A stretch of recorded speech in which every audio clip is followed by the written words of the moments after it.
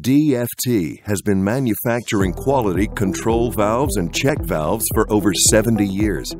The DFT Model High 100 control valve is a severe service control valve that can handle a wide variety of fluids, from gases and liquids to light slurries, as well as high pressures and a wide range of temperatures. It features an inline straight-through Venturi flow design, which is cavitation resistant. Here you see fluid from the pump filling the pipe with the high 100 in the closed position, showing the Class 5 tight shutoff. The High 100 features ANSI FCI 70-2 Class 5 metal-to-metal tight shutoff as standard.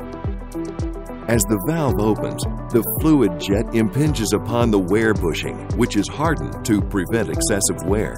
As a result, through body wear does not occur. If the fluid cavitates, this occurs in the mid-fluid stream, away from the body and pipe walls. DFT High 100 is a position-seated design, unlike globe valves which are force-seated. The control element is a spherical ball that's carried by the cage that positions it relative to the downstream seat by means of linear stem travel.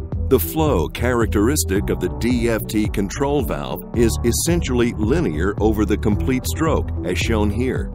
At the intermediate position, where the valve is designed to throttle, flow no longer impinges on the wear bushing, extending the service life of the valve. At full open, valve operates as a true Venturi that can handle high pressure drops. The quick change trim feature of the High 100 permits inline replacement of the internal trim. This minimizes maintenance, downtime, and lowers overall cost of ownership. Various trim sizes are available depending on required flow capacity. Specify DFT control valves for severe service applications. View our complete selection of control valves online at dft-valves.com.